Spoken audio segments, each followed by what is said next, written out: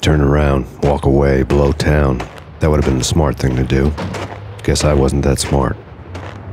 Lupino's tenement buildings were a seedy hangout for all kinds of sleaze a liquor store, a pawn shop, a laundromat full of mobster bookies and loan sharks. The list went on. The how and why of it was a mystery to me, but they knew I was a cop. They knew I was coming, and they were going to get real trigger happy about it.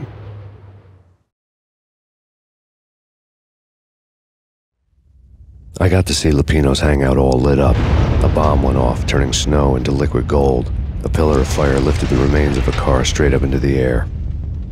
The flames were highlighted on the hood of a black Mercedes Benz as it coasted down the street real slow, as if the driver didn't have a worry in the world. I got a good look at the man riding shotgun.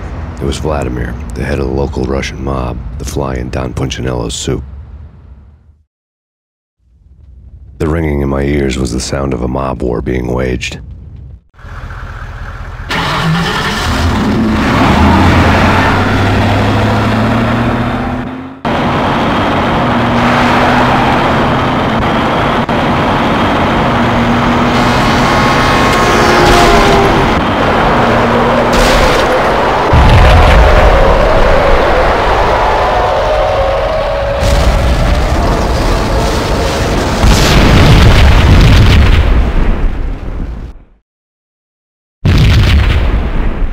Bomb exploded inside the closest slum building. It was a lucky break. The goons inside were spooked, but luck always came with a price tag. More bombs could still be ticking inside, and the cops would already be on their way. Jack Lupino's suite was on the top floor.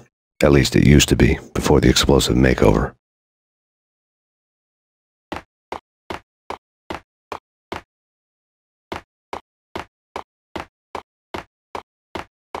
I don't know, man. I, don't know about this. Quit worrying, eh? Think of it as Christmas. The Russians are with Santa.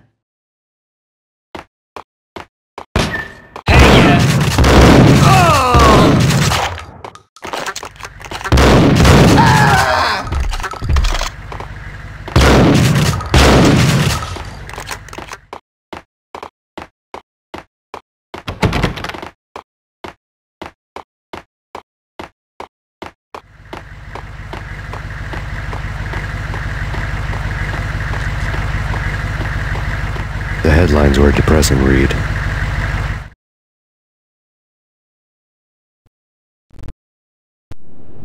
The headlines were screaming bloody murder. The storm was a screaming duet with the approaching prowl car sirens. It was all a scream when you were down for the count and wanted for murder.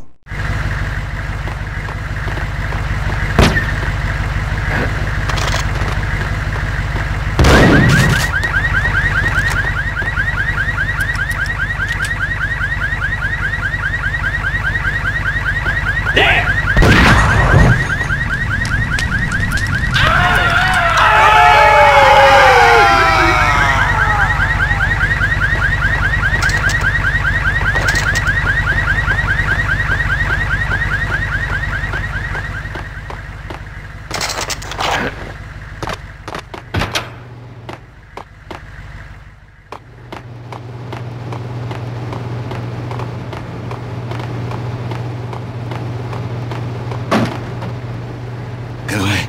Get away. Get away. I think I died. Think I'm dead.